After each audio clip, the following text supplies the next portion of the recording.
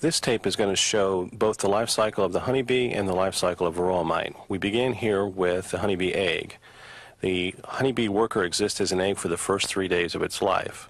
The queen honeybee lays about 1,500 eggs a day, and within the third day again, the egg hatches to form the small larvae you see here. The honeybee will exist as a larvae for the next few days, basically through seven and a half days. With time, the adult worker bees will begin feeding this larvae, and you can see the royal jelly in the bottom of the cell here. The larvae continues to eat and eat and eat, and it grows. And the critical point for varroa, you'll see later, is the varroa mite has to get into the brood cell before it's capped. And again, here you see a growing larvae. This larva would be about day 4 to day 5 in age. Now this is the point where varroa mite must enter the brood cell. The larvae is fairly large and robust, and the mite sneaks in between the cell wall and the larvae and gets in the brood food.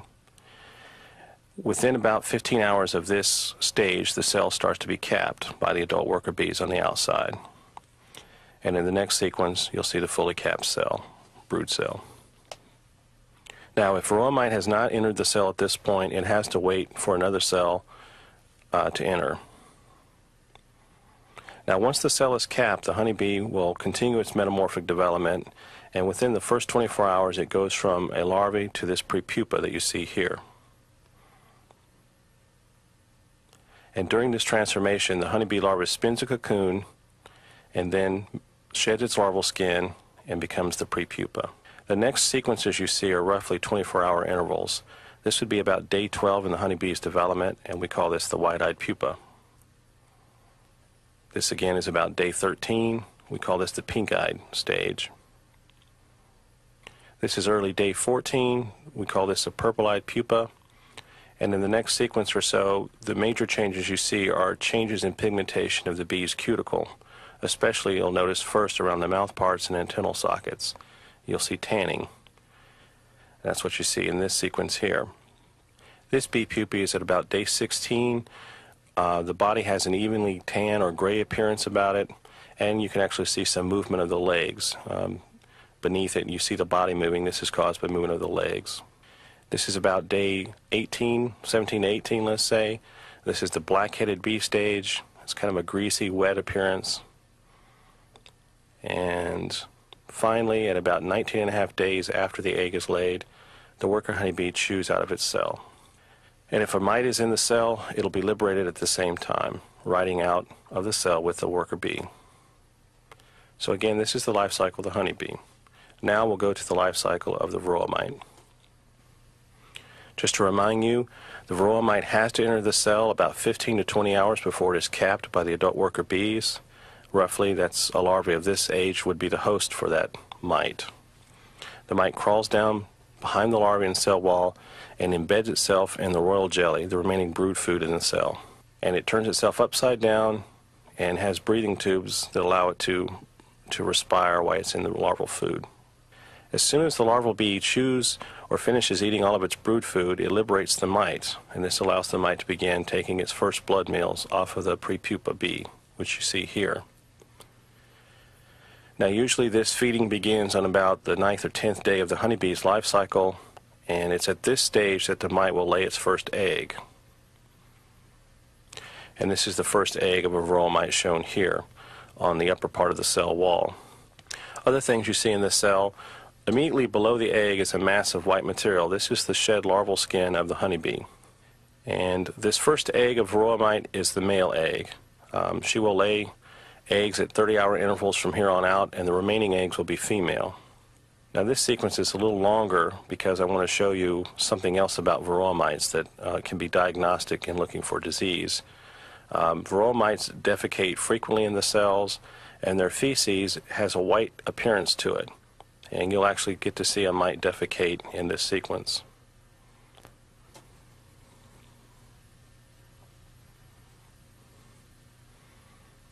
And right here, you see a dorsal ventral movement of the abdomen and a white fluid was uh, ejected from the body of the mite. Well, this is the feces of the mite.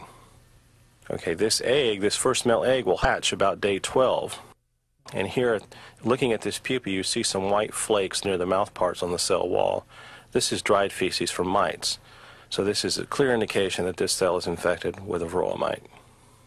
Now I'll remove this pupae, and you can see there's also feces often found on the, on the body wall of the honeybee. When we flip this pu pupae over, we find a male mite stuck to its surface. This is a tiny protonymph of the male. At this stage of development, it's very difficult to distinguish male mites from female mites. Uh, we magnify this male a little closer just to show you some more of his detail. And this is about 200x.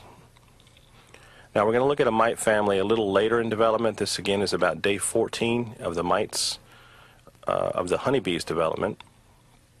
And when I remove this pupae, you'll see a female mother mite at the bottom of the screen, and then you see five white progeny mites. Uh, again, at this stage of development, it's very difficult to distinguish males from females. I'm going to remove this family from its cell and put them on a microscope slide, and I'm going to try and show you a male and female mite. Here are the five progeny just laid out, and here are the male and female mites.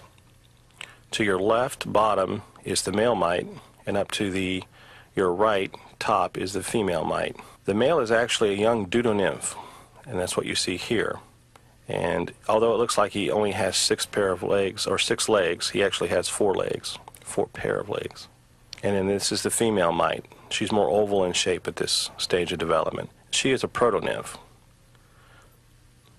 We'll look at another mite family, a little older. This would be about day 16.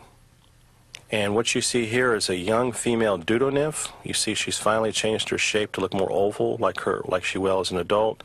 And then right above her I've placed a male adult male mite. And you can see he has a tan color. And one of the distinguishing features besides the general shape of the mite is the use of the front legs.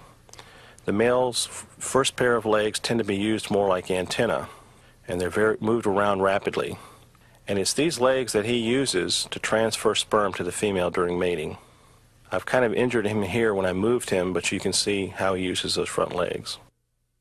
A little bit later, you can see all the mite feces in this cell, indicating a large family of mites. And um, in this sequence, you'll actually get to see mating of, between progeny mites. So when I remove the bee pupae, um, this is the mite family we find. Basically, you have one mother adult mite and two adult daughters. Those are the reddish ones you see running around. And then in the center of the cell, you see a female mite that's being mated by her brother. And this couple is in an unnatural mating position. They fell when I removed the bee pupae to the cell floor. This is not the usual mating position. Next to them is an immobile deutonymph female. And this just shows you just before these mites molt, they go through an immobile stage. And then they shed their cocoons. And you see two pieces of cocoon in the cell. Now, a little later, these mites got stood up and went to the natural mating posture that you see on the cell wall now. And you can see the female is standing there with her third and fourth legs open, and this allows the mite to transfer sperm using his legs. And if a mite, a female mite does not mate after this point, she won't mate for the rest of her life. So this is a critical period for the mite. This is just another glimpse of the family. You can see the shed pupal skins, I mean the mite skins, off to the left. The larger skin is from a female mite.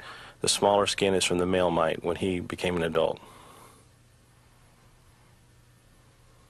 Finally, the honeybee chews out of its cell at day 19 and a half, and the living mother mite and any of her mature daughters will leave the cell with this bee. Now, a varroa mite is doing lucky if just one of her daughters matures and makes it out of the cell. Uh, typical averages from around the world have been 1.1 progenies actually mature. The fate of the rest is they simply die. In this cell, you see a dead male mite to your right, and at the bottom of the cell, you see a dead female mite. And then you see a bunch of debris related to the adult bee. Sometimes mice get trapped beneath the cocoons of larval honeybees. That's what you see here. We call this entombed by the cocoon. And I've just removed the cocoon out of the cell. You can still see the impression of the mite that's trapped beneath it. I'll separate them in the next sequence to show you, yes, this really is a mite. And there it is. Now, this happens in very low frequencies most of the time. But we have a resistant stock of bees where this happens 80% to 100% of the time, which is could be a very important resistance mechanism. In this sequence, you see a little bit of the feeding uh, puncture that's caused from the mites on the honeybee's body wall. It's, it's a blemish in the upper, let's say, upper left of the body. It's a puncture wound. And finally, this is just a sequence to show you that we're able to paint mites in part of our research so we can follow them and their behavior and their lives.